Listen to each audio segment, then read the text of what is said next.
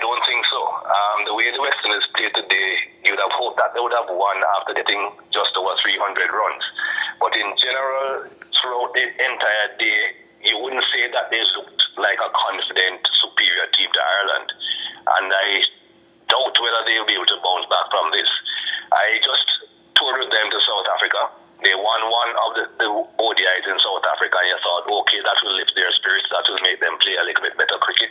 But then they lost immediately after that. The next one they played, and again coming to the World Cup, you'd have thought, okay, we are not playing very good cricket. Now this is the team talking to themselves. They would have said, well, we are not playing very good cricket, but we are playing against one of the so-called, you know, the first game of the tournament.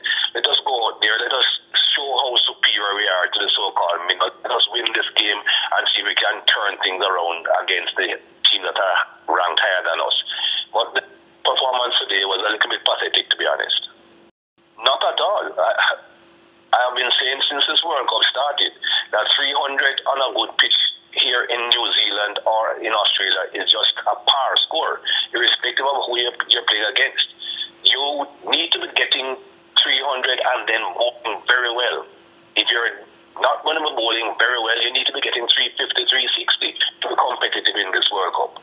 And the West Indies, I do not understand how they could ever think that oh, just over 300 runs that they would just automatically win. They have seen this Ireland team bat in the past. They have seen the O'Brien brothers. They have seen Ed Joyce. They have seen these guys bat and get big scores. They have chased down scores against England, for instance, in the last World Cup. They beat Pakistan in the Caribbean in 2007, you cannot take things for granted. You should be able to think to yourself, okay, we got a reasonable score, but we still have a fight on our hands and we have to go out there and perform. Definitely. And it's about time they get recognition for what they are doing.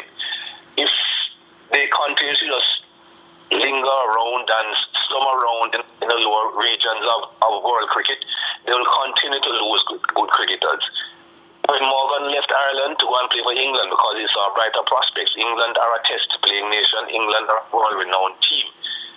Ireland need to be recognised now. They are playing good cricket and it's about time that they get the recognition so that they don't keep on losing cricketers. I should certainly think so. I think they'll beat they'll beat Zimbabwe. Mm. Um, whether they'll beat one of the higher ranked teams, I'm not too sure. But at the moment, all I've got to do is make sure that they beat another team, and I would think they have an outstanding chance of going on to the quarterfinals.